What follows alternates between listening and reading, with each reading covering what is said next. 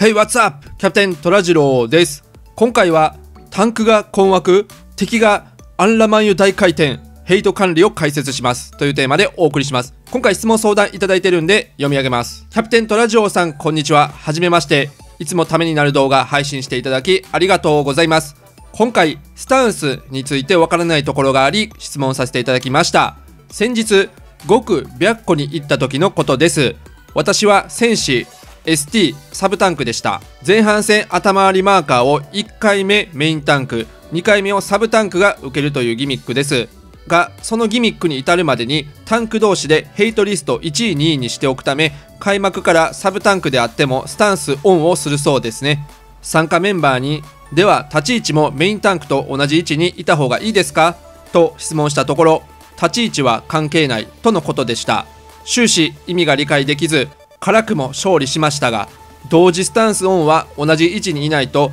アンラマンユ大回転のようになってしまうのではと思いました。敵地を大幅に上昇させるスタンスなのに敵地はふらつかないとはどのような状態なのでしょうか。私はまだ漆黒進行中のストーリープレイヤーです。何卒知識のアップデートをお願いいたします、はい、まずアンラマンユ大回転の意味がわからなかったので調べたところアライアンスダンジョン突入時各アラのタンクがスタンスを入れてヘイトを奪い合い敵があっちこっちに向いて回転する事象をアンラマンユ大回転というという意味でした。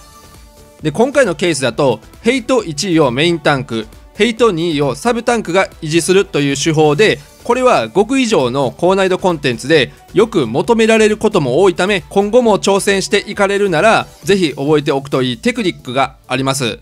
結論。バースト後にスタンス。これをもとに今回は順を追って解説します。今回お話しするテーマはこちら。開幕時スタンスは入れない。バースト後にスタンス。常時ヘイトリストを確認しよう。メインタンクが挑発すれば少しマシ。シャークを活用しよう。この5つのテーマでお話しします。1つ目。開幕時はスタンスは入れないということですがまずサブタンクである以上開幕にスタンスを入れる必要がありません。コンテンツによってはヘイト1位と2位に同時にオートアタックしてくる敵もいるので最初から入れるケースもありますが特例を除いて基本は開幕時はスタンスをオフにしておきます。で最初から入れっぱなしだとたとえメインタンクがファーストアタックを入れたとしてもそれぞれの装備のアイテムレベルやスキル回しスキルや浴びそのものにヘイトを上昇させるものがあるため状況によっては簡単にヘイトが動きます。その際にサブタンクは基本みんなと同じ後方にいることが多いため、まあ、敵がぐるぐるするわけです。で質問者さんはそれを懸念してメインタンクと同じ前方に行くわけですがボスによっては前方範囲攻撃だったりそれがスイッチ案件なのに被弾してスイッチ不可になったりなど基本前面にいるとデメリットが多いためサブタンクは基本後ろにいることをお勧めします。じゃあヘイト動いたらどうするのってことですがそれが次のテーマ。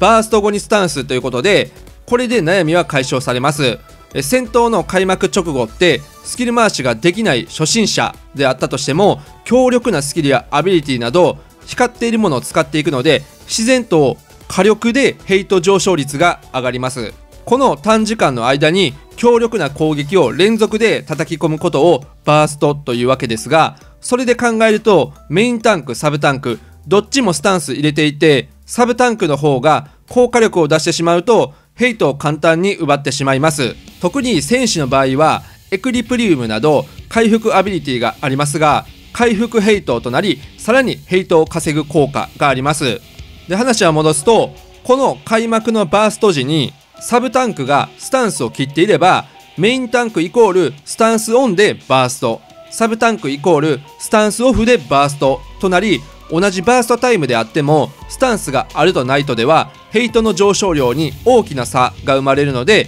まずヘイトを取ることはありません。ここからがテクニックでこのバーストを終えたタイミングでスタンスを入れるといい感じにヘイトを取ることができてヘイト2位を維持できます。バーストのタイミングがわからないよっていう人は自分が強いスキルやアビリティを使い切ったタイミングでスタンスを入れると大体間に合いますよと。ただこのテクニックの注意点はついつい忘れてしまうという点です。自分も時折あるのですが霊式を何回も言っている最前線の人たちですら不意にスタンスを入れることを忘れることがあります、まあ、人間だから忘れるのは致し方ないですが高難易度ではヘイトを維持しないといけない場合だいたいパーティーが即壊滅するんで日頃のノーマルコンテンツからサブタンクの時は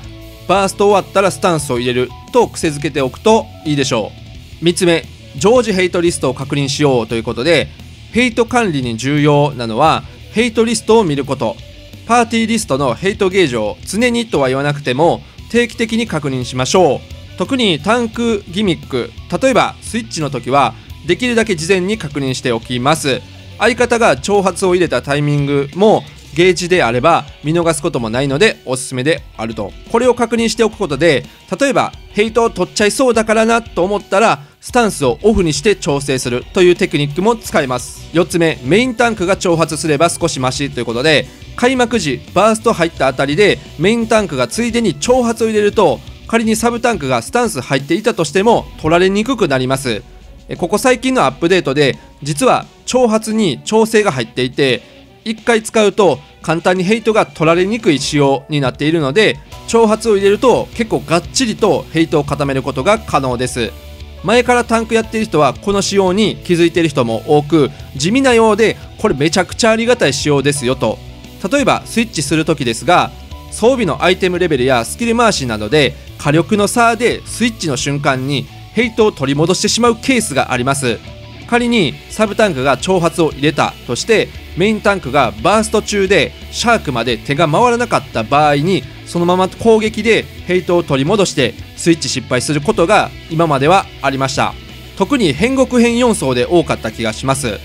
これが最近だとサブタンクが挑発入れた場合メインタンクがシャークせず攻撃を続けたとしてもヘイトを取り戻すことがなくなりました。あくまでも短時間の話ですがこの短時間でも恩恵が大きくバースト攻撃を終えてからシャークするという流れで間に合うようになっています。よって慣れているメインタンクさんであれば開幕時に挑発入れてもらえると助かるし自分がメインタンクになった時は意識してみてください。最後にシャークを活用しようということですが仮にですけどもしスタンスを入れたまま始めてしまった場合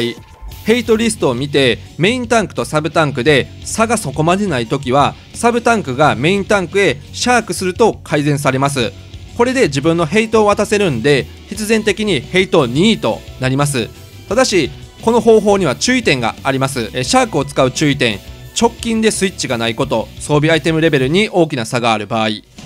直近でこの後スイッチがある場合はその時にシャークが使えなくてヘイトを取ってしまって事故る可能性があります。この場合は一応緊急対策としてスタンスを外して調整すれば、まあワンチャン生き残るということはありますがシャークは高難易度であれば可能な限りスイッチに残します。あとは開幕時にシャークをしたとしても装備アイテムレベルの差で火力の差が出てサブタンクがヘイトを取り戻す可能性もあるのでその際はヘイトゲージを確認しつつ取りそうだったらスタンスをオフにするっていうのも手です。ただしスタンスオフにも注意が必要でスイッチするときにスタンスがオフのままだと挑発しても取りきれない可能性があるんでスイッチ前にはスタンスをオンにしておく必要があります。ということで解説は以上になりますが結論はバースト後にスタンスを入れる。で大幅に改善されるのでまずはそちらをお試しください。ということで今回以上になります。ご視聴ありがとうございました。バイバイ。とっとっとっととらとらじろう。とっとっとととらとらじろうこんな感じに生きてゆくとらじろう温